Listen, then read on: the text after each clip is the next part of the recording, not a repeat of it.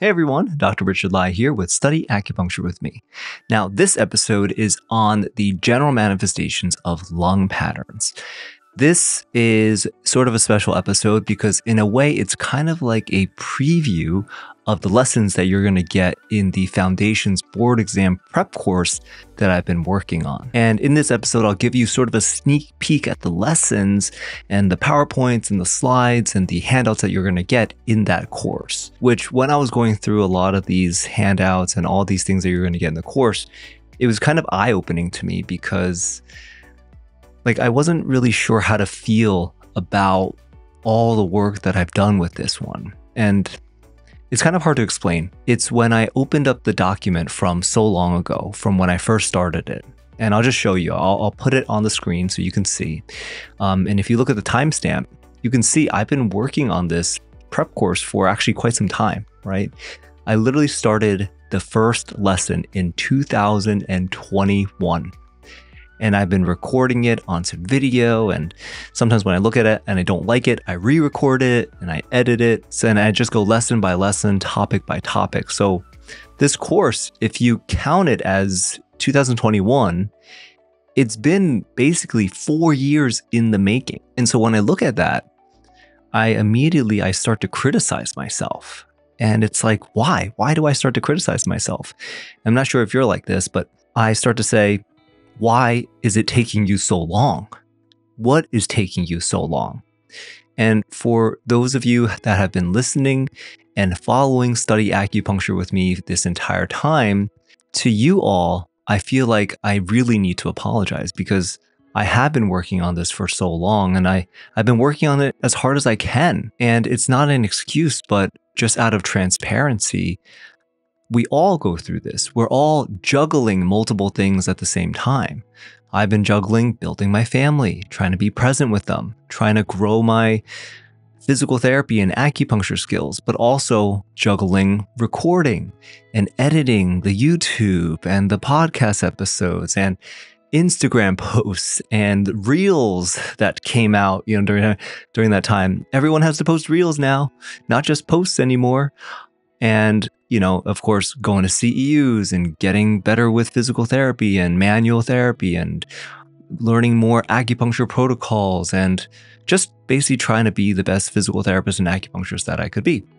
But there really is just so much time in the day.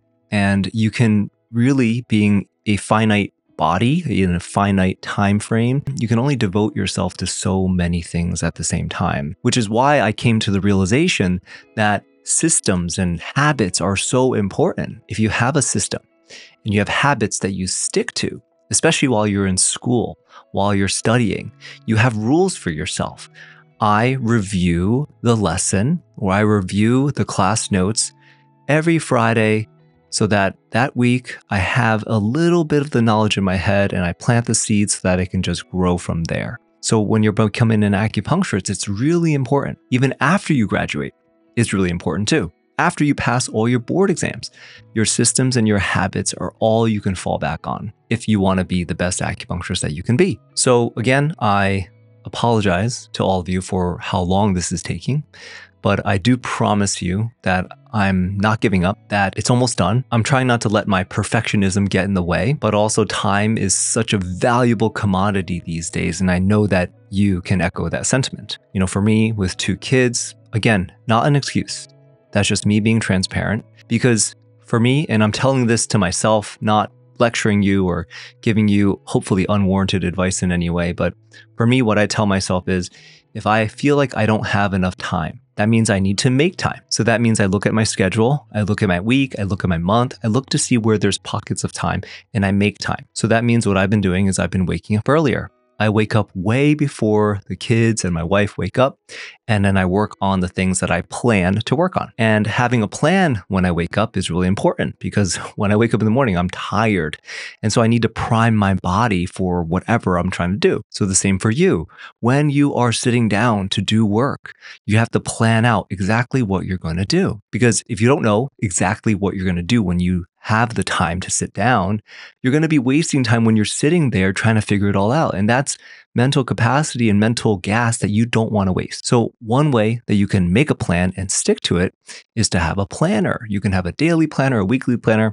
I have something on my website that you can use. I also have a video that I'll link in the description of this episode so you can learn how to use that planner in the most efficient manner. So, anyway, the point of this episode is to talk about lung patterns. Now, recently I posted up on social media a post that seemed to resonate with a lot of you, which is that's awesome. That always makes me happy. And that was the mnemonic of bad cold. Now, this bad cold mnemonic, what is it? It's basically just a way for you to remember some of the main clinical manifestations of the lung patterns. So, for example, I'll put on the screen here all the patterns of the lung. And the way I have it is it's broken up into the eight principles. So, we have empty patterns like lung qi deficiency, lung yin deficiency, we have lung dry or lung dryness, whatever you want to call it. And then we have full patterns that are exterior in origin. And that's patterns like invasion of the lungs by wind cold, invasion of the lungs by wind heat, and invasion of the lungs by wind water. And then we also have full patterns of an interior origin. And then we also have combined patterns here in the bottom right. And when you're in acupuncture school, you need to memorize everything about these patterns the clinical manifestations, the tongue and pulse, the causes, the treatment principle, and even the acupuncture points that have to do with each of these patterns. Now, that can be overwhelming, especially when you don't have any sort of idea of how to tackle the actual topic of itself. So, when I do come out with a course, it's actually a really good idea for you to have the course while you're in the beginning stages of your acupuncture schooling because it would actually be a great adjunct to your learning. Basically, the perfect scenario would be that you have your class you have your school, you take notes, you take notes from the teacher, you have this wonderful long class period that you can actually review the material without rushing through all of it for the quiz or for the exam.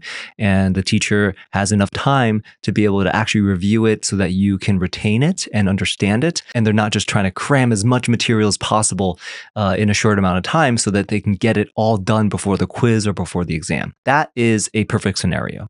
But in reality, a lot of times it's not like that, right? There's so much material. There's only so many credit hours in each semester or trimester.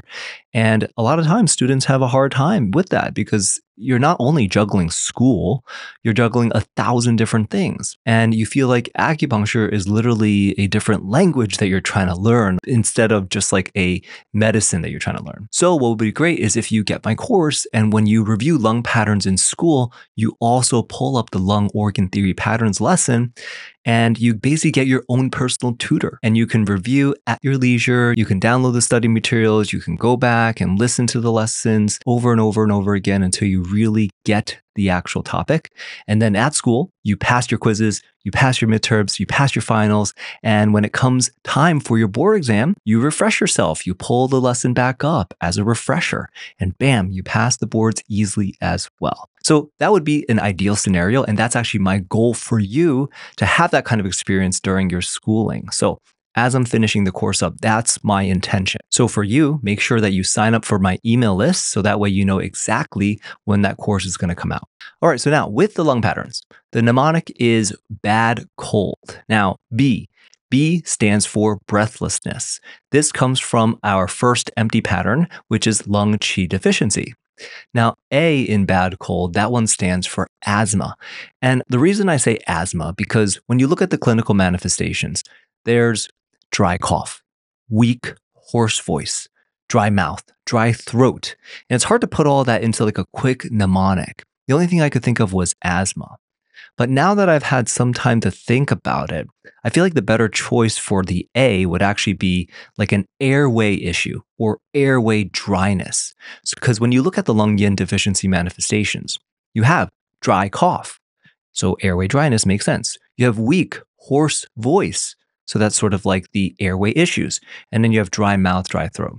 So that's the airway dryness. And why there's all this dryness in lung yin deficiency is because it's yin deficiency. And yin includes our body fluids. So that's why you see all of those dry manifestations. So A would probably be better to stand for airway issues or airway dryness. Just think lung yin deficiency. Now, the next letter is D. D is dryness, and there's actually a pattern called lung dryness. And you have all of those dry manifestations there. So you have the tongue even is dry. You have the cough that is dry. You have the skin that is dry. You have dry throat, dry mouth, and dry tongue. And that's all with the pattern of lung dryness. Now, the next letter in bad cold is C. Now, C has to do with cough and cold, and this actually comes from the full patterns section, which these are the ones that are of an exterior origin. Basically, there's invasion of the lungs by different EPFs like wind cold, wind heat, and wind water. And with wind cold and with wind heat, you're going to get these exterior manifestations like aversion to cold. So the C there is for the cold. You'll also get cough. So it's cough and cold. So the C stands for cough, the C stands for cold, like in these exterior invasion full patterns. The next letter in this mnemonic of bad cold is O. Now, O, this has to do with how Maciocia spells edema.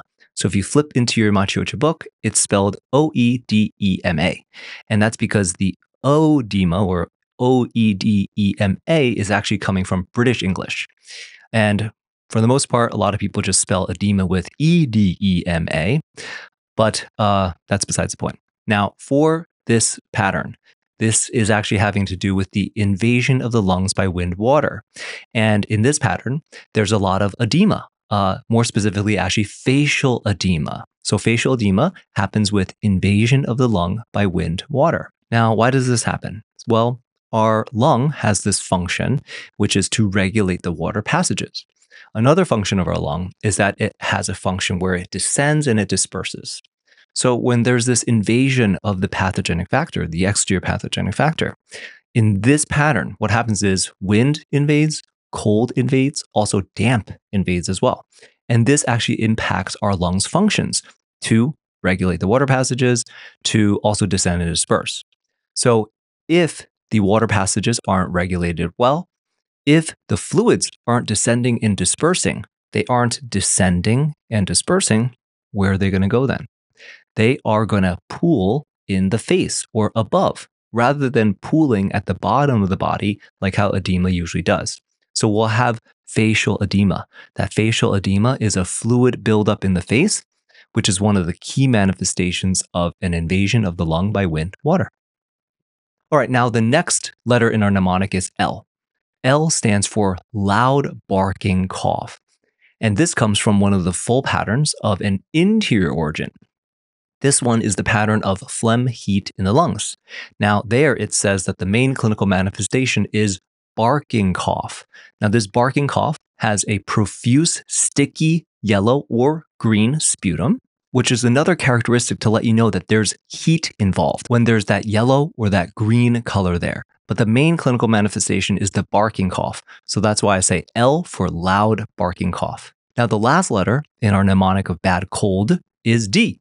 Now, this D stands for damp phlegm. And we have a couple patterns in the interior full patterns list, which have to do with a lot of different kinds of phlegm, which with these, they will all present differently. So, for example, there's the pattern of cold phlegm in the lungs. The phlegm in cold phlegm in the lungs is going to be more of a white, watery sputum. And then there's also a pattern called damp phlegm in the lung pattern. This is going to be phlegm that's a little more sticky, still white, and it's actually going to be easy to expectorate or easy to cough out. And then there's dry phlegm pattern. And this is a pattern where that phlegm is dry. So it's going to be a little more difficult to expectorate or it's going to be a little more difficult to cough out. All right. So there you go. That's a breakdown of the mnemonic of bad cold for lung patterns, which I hope that that mnemonic helps you. And I hope that this video where we break it down a little bit more helps you as well.